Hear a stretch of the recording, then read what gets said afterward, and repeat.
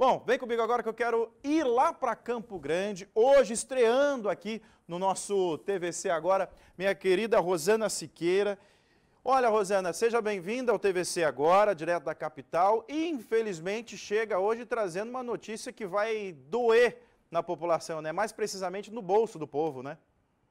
Sim, bom dia, Rude, bom dia, telespectadores da TVC. É um prazer estar com vocês hoje nessa participação, com uma notícia não muito positiva, né?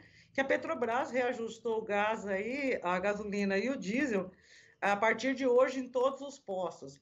O valor é, médio aí do preço do litro da gasolina vai aumentar 6%, 3,7% o litro do diesel nas refinarias e o gás de cozinha em torno de 5,9%.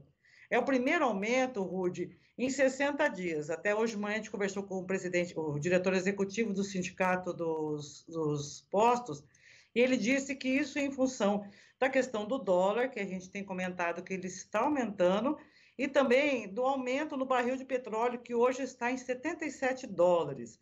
Então, com isso, no estado, o valor médio da gasolina, que é 5,743, deve subir 12 centavos né? Já o custo do diesel em torno de 4,48 é, é, centavos também terá um aumento. E o gás de cozinha, que preocupa bastante a população nesse período, principalmente, deve ter um aumento aí também expressivo de 5,9%. Mas, enfim, o negócio é a gente é, tentar economizar, trocar o tipo de, de combustível, verificar se às vezes o etanol compensa. Eu não sei como é que é em Três Lagoas, como tem a divisa aí, muita gente acaba indo para o outro lado, né, Rudy? Muitas pessoas aqui, porque tem uma média que a gente faz uma conta aqui, viu, Rosana? Que é uma média de 17% ali de diferença entre Três Lagoas e a cidade próxima aqui já, ah, atravessando a divisa com São Paulo. Mas assim, é, é, é, diesel que aumenta, é gasolina que aumenta, é o gás de cozinha que aumenta. E o, e o salário, como que tá?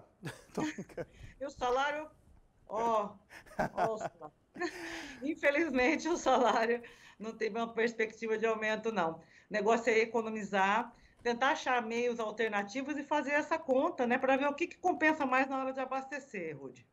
Então tá bom, Rosana, um abraço para você, para toda a nossa um equipe aí da CBN Campo Grande, tá bom? E fica atento, aposto, porque a qualquer momento a gente pode chamar vocês, viu? Tá joia, obrigada.